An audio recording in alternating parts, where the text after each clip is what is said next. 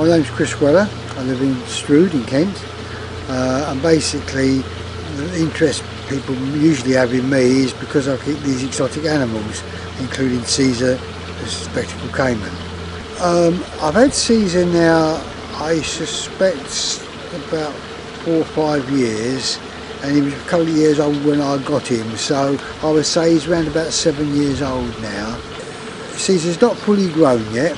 Um, he, as a, as a male, he'd probably grow between eight and nine feet as a male.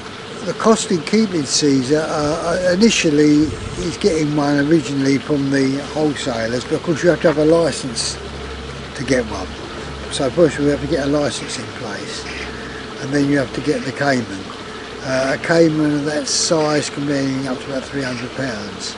In, in, terms of eating, the quantity, uh, he could take a good half a trout in one sitting quite easily and he might do that for two or three days and then all of a sudden he will not eat for a week or whatever and you have a spell where he doesn't want anything at all.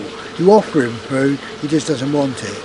So it, it varies what he wants, but he, when he's hungry he will eat a reasonable amount. But I don't over, I try not to overfeed him because he doesn't have to do any hunting. He just sits there and eats. So it's a good job really. He sits there, eats and listens to the radio. And he's getting a television soon. I'm not quite sure what's going to happen when that arrives, but we'll have to wait and see.